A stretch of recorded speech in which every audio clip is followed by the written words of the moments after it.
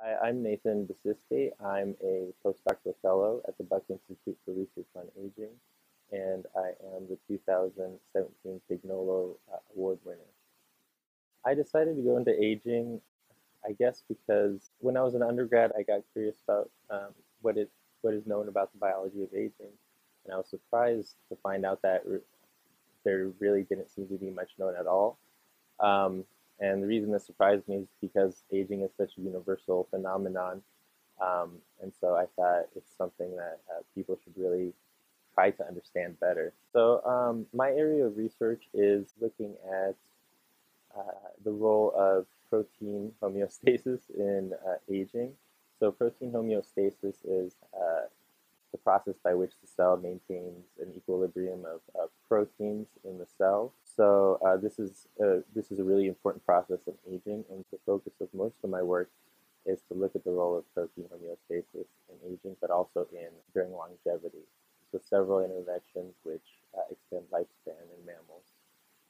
The topic I'm talking about today is uh, focused on a antioxidant mouse model of longevity. So um, uh, using a transgenic or um, I guess a genetically engineered uh, mouse that overexpresses an antioxidant in its cell called catalase, and it overexpresses this in a specific part of the cell called the mitochondria, where most of our energy is produced. So uh, this MCAT mouse has been shown in the past to be very beneficial for longevity. They live longer um, and slow down uh, a whole slew of age-related diseases. In the work I'm going to talk about today, I look at uh, aging in the MCAT mice compared with regular aging in normal mice. And um, what I saw, um, unsurprisingly, was that in the old MCAT mice, uh, we see that they're more similar um, in their cardiac proteome to young mice, which is what you might expect when you give an old mouse this intervention.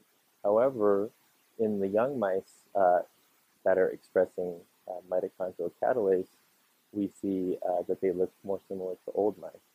So this is uh, the reason this is important is because it suggests that um, not all interventions which are beneficial to the old may be beneficial to the young, and not all interventions that are beneficial to the young may be beneficial to the old.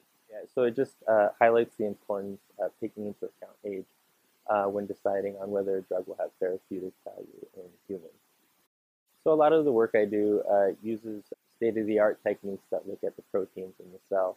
And um, so one thing I'm really excited about is method development to uh, improve the uh, how well we can characterize proteins in the cell and also how we can characterize the way proteins are regulated, so the turnover of proteins in the cell.